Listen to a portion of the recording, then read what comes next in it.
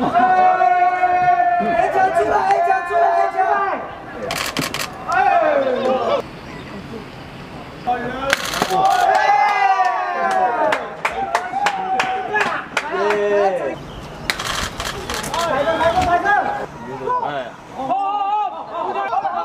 身为一支首次参与黑豹级的球队，万能工商首战有这样的表现是正常的。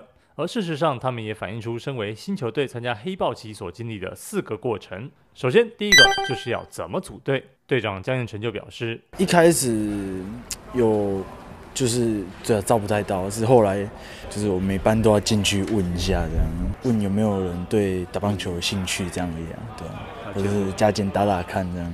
好不容易找到人来打后，接下来也是一个很重要的环节，就是校方的态度。我觉得要打就打。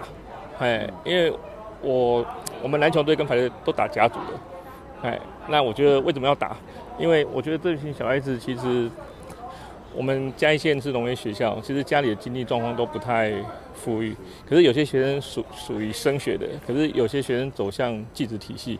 那我们学生这一群的话，都是属于技职体系的的学生。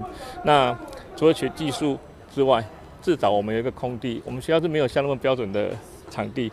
但是我们在旁边的话有一个垒球场，哎，所以我们每个礼拜都会去那边做做练习。当然，我们练习的时间还还不够了。有了一个愿意支持的校长，当然首场比赛着重科班，第一场的结果当然相当惨烈。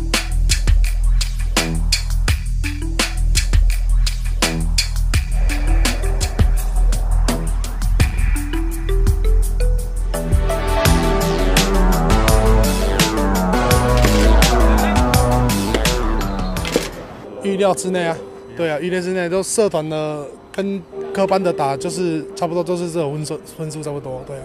但无论如何，首次参赛还是能够在黑豹旗留下一些印记，譬如。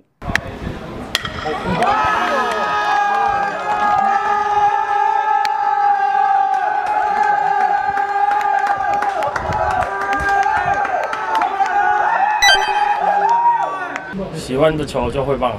哎，就很棒，应该是第一次来台北的球场，创设那么久，还是感谢学校啊，终于可以让我们来比这场比赛。这样，即便首场比赛的结果不如人意，但黑豹旗的精神就是继续坚持下去，一定都可以拿下球队在黑豹旗的首胜。